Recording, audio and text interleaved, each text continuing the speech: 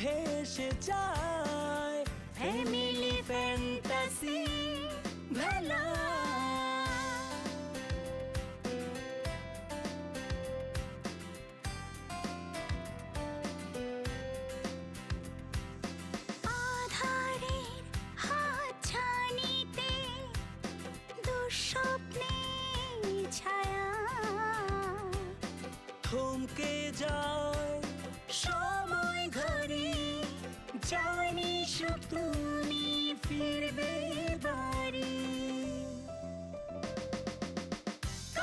রাত কাটে দিন, নতুন রঙে মন রঙিন ভালোবাসার অনিমেষ হাত জানিতে স্বপ্নে বিভোর ফ্যামিলি ফ্যান্টাসি ফ্যামিলি ফ্যান্টাসি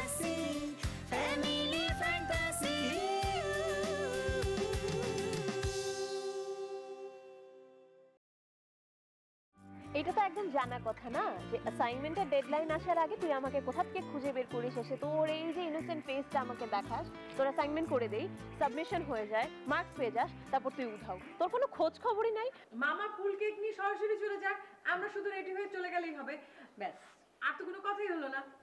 আর আমি যে এত কিছু রান্না করলাম আমি যে পোলাও মাংস মুরগি চিংড়ি খাসি রেজালা সাম্যর পছন্দের পুডিং এত কিছু যে রান্না করলাম সেগুলোর কি হবে? কেন? ওই যে খালামণি বলল কি ভাইয়াকে নিজ হাতে রান্না করে খাওয়াবে। এখন বুঝিস ইমোশন। বাবাও বলল যে ঠিক আছে বাইরে যাওয়ার দরকার নেই ঘরে বসেই খাওয়া দাওয়া করি এই জন্য আর কি। যে যে তোমার মামলা টামলা করতে মানে প্রস্তুতি নিতেছে শুনছো কিছু এই ঝামেলা থেকে কবে যে কি একটা আওলার মধ্যে পড়লাম কেন যে আমি এই আকাশ কি রে? সকাল সকাল আসতে পারলি কি ঘটনা কি? টেনশন বেড়ে গেছে। ভাইজান খবর কিছু পাইছেন? কি খবর? কিসের খবর? ওরা নাকি আমাদের নামে মামলা করব। আরে না কিসের মামলা করব? হ্যাঁ মামলা করব বললেই মামলা করা যায় নাকি? কোনো ডকুমেন্টস আছে না? আর তাছাড়া টাকা তো আমার হাতে আমি তো দিয়ে দিব। এই যে সাইমা এসছে সাইমার কাছ থেকে টাকাটা নিছি। মনে করে বাড়ির যাব বাড়িতে গেলে টাকাটা দিয়ে দেবো। কোনো- কোনো রকমের টেনশন নাই। ভাইজান হ্যাঁ। যত দ্রুত পারেন দিয়ে দেন। হ্যাঁ। ব্যাপারটা একটু আমার কাছে অন্যরকম ঠেকতেছে। আর আমি তো আছি ভাইজান। আসতে পারো তো আসতে পারো শুধু। ভাইজান আমি তো আছি মহা মুসিবতে এই যে দেখেন না আমার চব্বিশটা ঘণ্টা এরকম ভূগোল দাবা করে রাখে। এর কাছ থেকে আমি কবে যে ভাইজান মুক্তি পাবো আল্লাহ আর ভেতরে আল্লাহ আমার শুরু হয়েছে ভাইজান। ওরে মোর খোদা যখন এখন তো মুই ধরে রাখছি। জন দুই কয়দিন পরে থানায় পুলিশে ধরে লইয়া যাইবে ধরে রাখবে তখন বুঝবা বন্দি জীবন কারে কয়। এখন তো মুই ধরে রাখছি আর তখন ধরে রাখবে পুলিশ। জেলে গেলে তো তুমি খুব খুশি। তখন কার হাতটা ধরে রাখবা? তখন তো তুমি এখন আটকা থাকবা। জন বাইরে তখন মুই আবার তোমার ধরে লইয়া ভাই যান ঠিক আছে না? না না হয়েছে তুই শোন, শোন। ভাইজান দেখেন কারে নিয়ে সংসার করি? ও চায় আমি জেলে যাই। জেল খাটি আরে না ওইসব কিছু না কিছু হবে না। আর পুলিশও তো অনেক কাজ আছে না। পুলিশ আমাদের এই সমস্ত ব্যাপারে নাক গলাইব না। কত বড় বড় কেস আছে। আর তাছাড়া মনে করো যে সাইমা যেহেতু আইসা পড়ছে সাইমা কিন্তু দেখা করতে বলছে হ্যাঁ? ভাইজান হ্যাঁ। আমি এখনই যাই। পাগল নাকি? এইভাবে রঙ্গলীলা করে সাইমার সামনে গেলে এই সমস্ত মানে পরে ঝামেলা হইব। পরে এক কাজ কর তুই বলে বাইর আয়। বউ শোনা বউ আমার সাইমা পাসছে উনি খুব গুরুত্বপূর্ণ মানুষ আর আপাতত টাকা নিয়ে আসছে। আমরা গেলেই টাকাটা দিয়ে দিবে। আর টাকাটা দিলে যে যে তুমি টেনশনে আসছো এই টেনশন তো তোমার করতে হবে না। তুমি একটু বাসায় যাও শোনা আমি একটু ভাইয়ের সাথে যাই যা আপার সাথে টাকাটা নিয়ে আসি। ওরে মোর খোদা মোর আকাশ। তোমার মই আটটা শাড়ি আর তুমি পলাও না। তুমি মোরে নয় ছয় শেখাইও না। আর যত নষ্টের মূলে আসলাম ভাই বুঝলো? হ্যাঁ তো বিয়া সাথী হরেই নাই। হ্যাঁ বউর কথা কি বুঝবে? তুমি যদি বাগো, তো ডাহাসরে মই থাকমু কই? খামু কি? হাই ভাইজান, আপনি কি বুঝতে আসছেন তো মোর কি পরে ব্লেম ও আসলে তুমি ভুল বুঝতেছো। তুমি যা ভাবছ তা না। মানে হয়েছে কি, ওই মানে করো যে সাইমা তো বিদেশে থাকে, তার একটা ব্যাপার স্যাপার আছে। তার সামনে যদি আমরা এরকম ভাবে তোমার নিয়ে যাই পরে অন্য কি না কি ভাবলে টাকাগুলো আর পাবেন আমাদের তো দরকার টাকাগুলো না? টাকা দরকার না। টাকা দরকার হ্যাঁ। ভাই কি কথাগুলো বলতেছি একটু বুঝো। বিশ্বাস করো। বুঝার চেষ্টা করো। আর ভাই কত সম্মানী মানুষ। মানুষের সময় তো সবসময় একরকম যায় না। আমরা ভাই আমি কই যে কোনো ভাবে দেখো ভাই কাঁদতেছে। কথা তুমি এটা কি কইলা ভাই? তারপরে ভাইয়ের ইজ্জত নিয়ে কথা বলছো। ভাই বিয়ে করে নাই মানে? ভাই কোন কারণে বিয়ে করে নাই সেটা কি তুমি জানো? হ্যাঁ? তুমি দেবদাসী নাটক দেখছ? শরৎচন্দ্রের উপন্যাস পড়ো। এ, মুই কি জানি না? এর বিষয়ে মুই কি জানি না? আচ্ছা মুই সবই জানি। আচ্ছা ঠিক আছে ঠিক আছে। ভাই, কথা শোনো আমার কান্দেন না। ভাই। ও তুমি তুমি তোমার টাকা পয়সা ব্যবস্থা করে দিতেছি আমি। আমরা তো টাকাটা খাই নাই আমাদের কাছ থেকে আরেকজনের চিটারি করে বাইরে নিয়ে গেছে গা টাকাটা। আমরা পালায় পালায় ঘুরি এটা কি ঠিক হয়েছে? আমরা কোনো মানুষের কাছে হাত পাততে পারি না ঠিক মতো খাওয়া এই যে যাইতে পারি না বোনের বাসায় কিছুদিন থাকি। আমি তোমার টাকার ব্যবস্থা না করে মরম না অন্তত এই জবান দিলাম তোমার আমি।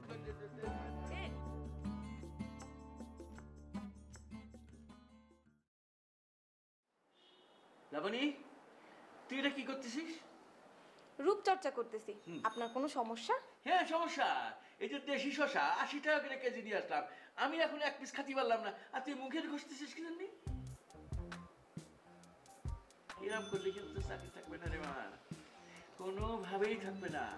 পারমানেন্ট হবেই না। মামা আমার এনে আপনি চাকরির ভয় দেখায়েন না। আমি বেশি দিন কারও বাসায় চাকরি করি না। আর বাসার যদি লোকজন পছন্দ না হয় তাহলে তো আরও আগেই করি না। ভাব কীরকম?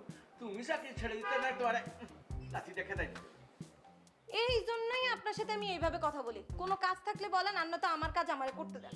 তুই এ বাড়িতে ভালোভাবে খাবি দাবি থাকবি? তাহলে তোর চাকরিটা আমি এখানে পারমানেন্ট করে দেবো মনে কর যে ভবিষ্যতে তুই এখানে থাকলে তোর বিয়ে শাদির জন্য একটা সুন্দর দেখে ছেলে একটা পয়সা করে যা খরচ করা দরকার আমি করে নেই কেন? আমার চেহারা দেখতে খারাপ যে আপনার আমার বিয়ে নিয়ে টেনশন করতে হইব। কি ব্যাপার লাবণী? তোর উচ্চতা শেষ হচ্ছে কেমনে শেষ হইব? মামা আইসেই তো আজের আলাপ শুরু করে দিছে। হাসলাম ভাই? কি ব্যাপার? তুমি সকাল থেকে কোথায় ছিলে? ওই আকাশ টেলিফোন করছিল। হ্যাঁ। টেলিফোনটা জরুরি ভিত্তিতে তোর সাথে কথা বলতে গেছিলাম কেন? কোনো সমস্যা হচ্ছে নাকি? হ্যাঁ সমস্যাটা হয়েছে আকাশ আর বউ দুজন মিলাটা আর বউ গ্রাম থেকে এসে একটা ঝামেলা বাজাইছে। ও তাহলে ওকে বলো বউ সহ একবার যেন এখানে আসে। আর শোনো উম, দুলা ভাইয়ের অফিসে খাবারটা একটু পৌঁছে দিও। আচ্ছা। ঠিক আছে। আচ্ছা সাম্য কোথায় যায় কি করে একটু খোঁজ খবর রাখো। ও অফিসে যায় না কেন? জানো কিছু? হ্যাঁ ওই যে কুড়িগ্রামে একটা গরিব মানুষকে নিয়ে একটা ওই সমবায় ভিত্তিক পুকুর ওই খামার এইসব এইসব কি কি জানি গরিব মানুষের জন্য করতেছে। খালা শ্যাম্যবাই কিন্তু এখনও তার রুমে ঘুমাইতেছে। আচ্ছা এই বাড়িতে কি কোনো ডিসিপ্লিন নাই নাকি? এখন থেকে সবাইকে ডিসিপ্লিন মতন চলতে হবে। ঠিক আছে। সবাইকে রাতে তাড়াতাড়ি ঘুমাতে হবে সকালে ভোরে ভোরে উঠতে হবে। আর ওই রাত জেগে ওয়াইফাই থাকাতেই ওই মেসেঞ্জার ফেসবুক ভিডিও কল এই সমস্ত যেন না হয়। আমি কিন্তু চেক করব যে রাতে সবাই ঠিকমতো তাড়াতাড়ি ঘুমোচ্ছে কিনা আর সকালে ভোরে ভোরে উঠছে কিনা। আর হ্যাঁ সাম্যর সাথে কথা বলতে হবে। ওর ব্যবসা বাণিজ্য তো ওকে বুঝিয়ে দিতে হবে নাকি? আর দুলা ভাইয়ের তো এই বয়সে এত কষ্ট করার বয়স আর নাই। তার তো এখন বাড়িতে বসে থেকে নাতি নাতকুদের নিয়ে সুখে থাকার কথা হাসি খুশি থাকার কথা। সেই জায়গার লোকটা এভাবে কষ্ট করছে আর সাম্য দিনভর ঘুমাচ্ছে সারা রাত জেগে থাকছে এটা একেবারেই ঠিক না। আচ্ছা সায়রা কি ওদেরকে শাসন করতো না? করবে না কেন? খুবই করতে তবে বুঝি তো একটু নরম সরম বুঝিস না তো। ওই তেমন করে জোর করে কারও ধমক দিতে পারতো না। আর সাম্যর ব্যাপার তো একেবারেই না সাম্যর কোনো কথাই বলা যাবে না। এমনকি সাম্যর বিয়ে দেওয়া লাগবে তার যে একটা বিয়ের বয়স হয়েছে এটিও ঠিক মতো বলতে পারে না। আচ্ছা যাই হোক এখন থেকে সবাইকে বলে দিবে যে সবাইকে ভোরে ভোরে ঘুম থেকে উঠতে হবে আর বেশি রাত জাগা যাবে না। ঠিক আছে। খালাম্মা আমি বলি কি দশটার দিকে না এই ওয়াইফাইটা বন্ধ করে দেন। তাইলে আর কেউ ফেসবুকিংও করতে পারব না মেসেঞ্জারে কথাও কইতে পারব না। আর অপসরা পাও দশটার দিকে ঘুমের থেকে উঠবো। কেন? অপসরাও কি রাতে কারোর সাথে কথা বলে নাকি? ও ক- তোমার কথা মানে ওই যে বুক ফেস ফেসবুক কি কি জানি আছে না ওই সব নিয়ে থাকে। ওই ওই কি বলে ভিডিও কল অডিও কল এইসব করে আর কি এই আর কি আজকালকার বলে আবার না? আরে এগুলো তো হলো অ্যাজ সবাই করে এটা তো কোনো বিষয় না। এটা নিয়ে বেশি জোরাজুরি করতে গেলে তখন আরও হিতে বিপরীত হয়ে যাবে। দরকার কি খামাখা? তবে হ্যাঁ ওয়াইফাইটা বন্ধ রাখা দরকার যাতে করে Facebook video call Messenger WhatsApp এগুলো যেন ইউজ করতে না পারে তাহলেই ভালো হয়। সেই আমি কেন তোমাকে দুঃখ দিলে? কেমন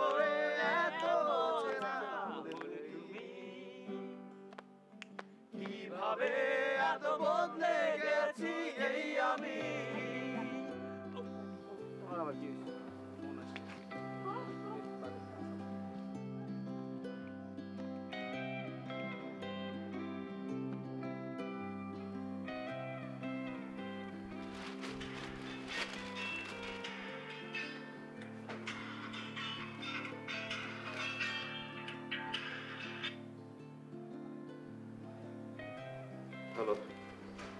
বলো দীপা। অপসরা আজকে ভার্সিটিতে আসেনি? ওকে কখন থেকে কল দিচ্ছি? ও কল ধরছে না? আমি তো সেটা বলতে পারব না। আমি একটু আগে ঘুম থেকে উঠলাম। আসলে হয়েছে কি অনেক রাতে ঘুমিয়েছি তো। আচ্ছা ঠিক আছে তুমি ফোনটা রাখো আমি দেখছি। অপসরাকে বলছি কল ব্যাক করতে। ও আচ্ছা। আপনার ঘুম থেকে উঠাই দিলাম না? ডিস্টার্ব করলাম। সো সরি না না ইটস ওকে আমি আর্লি রাইজার আচ্ছা। আমি যদি প্রতিদিন আপনাকে এভাবে ফোন করে আপনাকে ঘুম থেকে উঠিয়ে দিই কেমন হয়? ব্যাপারটা মোটেও ভালো হবে না। খামোখাই কাউকে ডিস্টার্ব করা মোটেও উচিত না তাই না? কিন্তু অপসরা তো এটাই চায় যে আমি প্রতিদিন আপনাকে ডিস্টার্ব করি। মানে? মানে তো জানতে হলে আমার সাথে আপনার দেখা করতে হবে। তা কবে দেখা হবে বলুন? শোনো দীপা আমি রাখছি আর অপসরাকে বলছি তোমাকে কল দিতে। না আপনি রাখবেন না। আমি আপনার সাথে এখন এক ঘণ্টা টানা কথা বলব। আমি কল করেছি। তাই আমি যতক্ষণ পর্যন্ত ফোন রাখব না আপনি ফোন রাখতে পারবেন না। দীপা আমার কাজ আছে আমাকে ফ্রেশ হয়ে অফিসের জন্য রেডি হতে হবে। এক শর্তে ফোন রাখতে পারি। আবার কি শর্ত?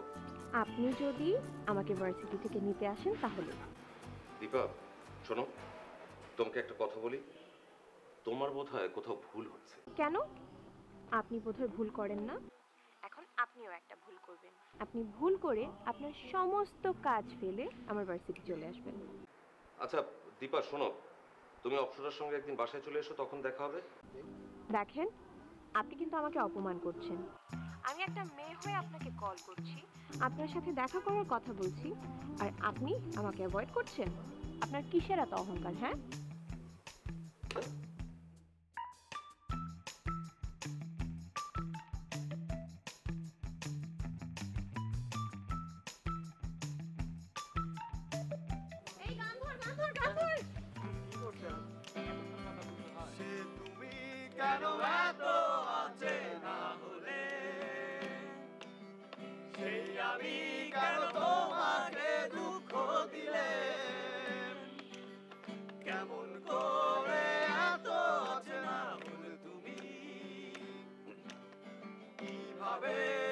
বদলে গেছি এই আমি।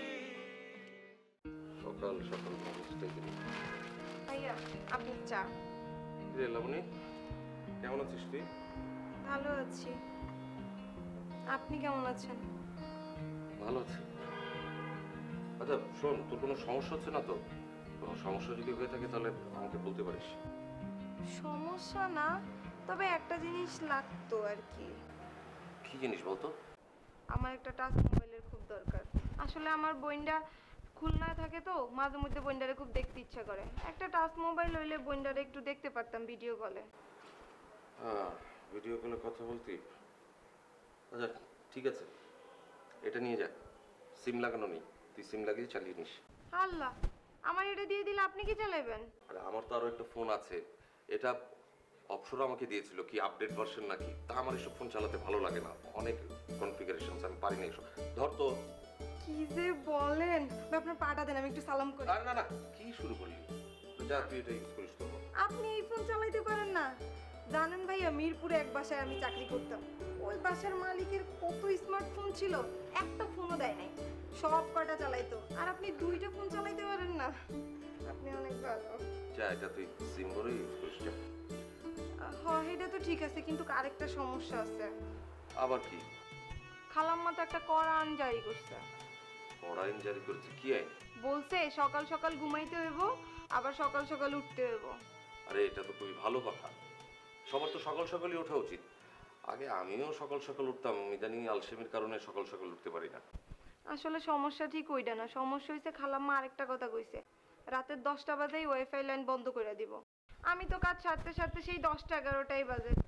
ওয়াইফাই না থাকলে আমি আমার ছোট বোনটার লগে কেমনে ভিডিও কল দিয়ে কথা কমু কন? আচ্ছা ঠিক আছে আমি খালামণিকে বলে দেবো যেন ওয়াইফাই লাইনটা বন্ধ না করে। আর অপসরা কিছু বললে বলবে আমি তোকে ফোনটা দিয়েছি। কেমন? ভাইজান আপনার মতো এরকম ভালো মানুষ না আমি সারা জীবনে দেখিনি। আপনি আরেক কাপ চা খাইবেন? আমি আয়না দিব যা আর চাটা চিনি কম দিয়ে আর এক কাপ বানিয়ে এনে দিস নে। ঠিক আছে ভাইজান আপনি অনেক ভালো।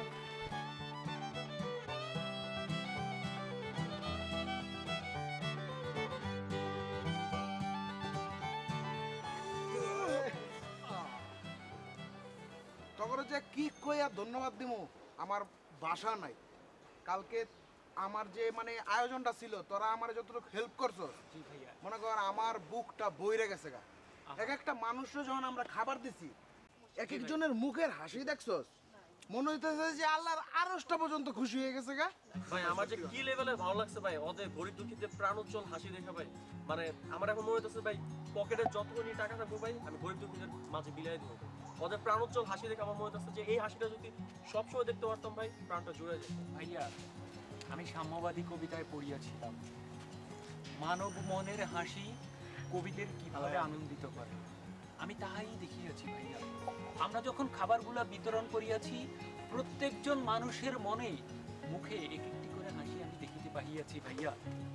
সে হাসি আমার হৃদয়ে লাগি দিয়েছে দোলা। আপনার এই ঋণ ভাইয়া কোনোদিনই যাবে না ভোলা। বাহ বাহ বাহ। তুই তো দারুণ লিখ চালাইছস হ্যাঁ? কি নাই ভাইয়া। বলেছি বলেছি ভাইয়া। এই হাততালি দে, হাততালি দে। তুমি যে কবিতা লিখছো এটা তো আমার হাততালি আসে না। জীবনে তো একটা লাইন ঠিকভাবে লিখতে পারো না। আজকে একটা কইছো হাততালি পাওয়ার খুব ইচ্ছে হইতেছে। তোমার লয় কি আমার কোনো বিরোধ এই। বৎস? তুমি চুপ থাকো এই যে এখানে তোমাকে একটু ঢেলমাল এই সনেট এই সনেট। এই যে দুই লাইনের কবিতাটা লিখতে লাইছে।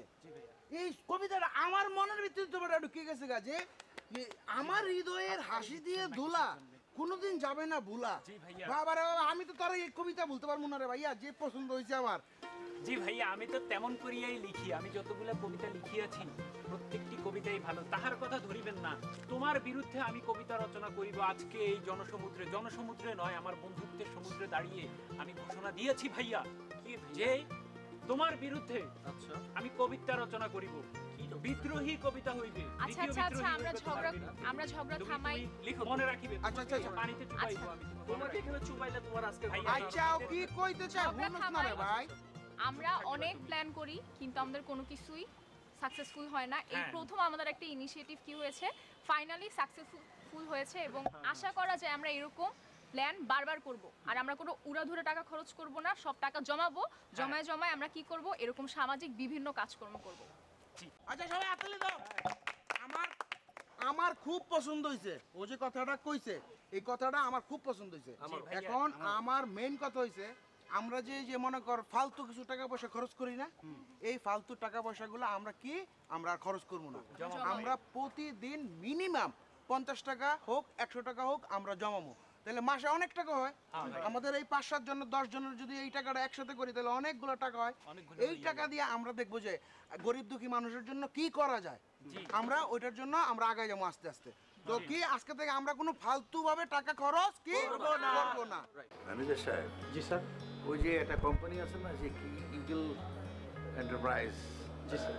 ওই কোম্পানির খবর কি? ওরা যে আমাদের সঙ্গে আর যোগাযোগ করছে না ওরা কি পরে এই- কাজটা সব বন্ধ করে দিয়ে লাপাত্তা হয়ে যাবে নাকি? অনেক টাকা ইনভেস্ট করা হয়েছে ওখানে। পরে আমাদের এই টাকাগুলো সব ব্যাহাত হয়ে যাওয়ার উপক্রম হবে না তো? আপনি জিনিসটা খেয়াল করেছেন? স্যার জিনিসটা আমি লক্ষ্য করেছি। তবে স্যার আমি ব্যাপারটা একটু ভালোভাবে দেখে ওদের ডিটেলসটা আমি আপনাকে জানাচ্ছি। কিন্তু জানার কারণ এরকম অনেকগুলো কোম্পানি কিন্তু এখন বেরিয়েছে যারা এভাবে টাকা পয়সা নিয়ে পরে কিন্তু ওরা হাওয়া হয়ে যায়। জি স্যার। না আমার তো মনে হচ্ছে এরকম একটা কোম্পানি এই ইগল স্যার আমি বুঝতে পেরেছি তবে আমাকে একটু সময় দিন আমি ব্যাপারটা দেখে আপনাকে আমি অবহিত করছি। কেমন আছো তোমরা? কি খবর? জি আঙ্কেল আলহামদুলিল্লাহ আমরা সবাই ভালো আছি। মানে হঠাৎ কি মনে করে আমার কাছে তোমাদের আগমন? আঙ্কেল হয়েছে কি একটা কথা বলতাম যদি কিছু মনে না করেন। হ্যাঁ নিশ্চয়ই। কেন নয়? বলো। আঙ্কেল ওই আসলে আপনাকে আপনার কাছে মানে দেখা করার জন্য আসি সব সময় কিন্তু আপনি তো আসলে ম্যাক্সিমাম টাইমে দেশের বাইরে থাকেন আর বাসায়ও থাকেন না। আপনাকে যখন পাই গেছি আঙ্কেল এটা তো খুব ভালো হলো আঙ্কেল হয়েছে কি আমরা শীতের কাপড় দেওয়ার জন্য গরিব দুঃখী মানুষদের, তো ওই জন্য আমরা একটা মানে শীত কাপড় মানে বিতরণ করতাম। তো এই জন্য আমাদের একটু ত্রাণের মানে যেটাকে বলে আসলে আর্থিক সাহায্য।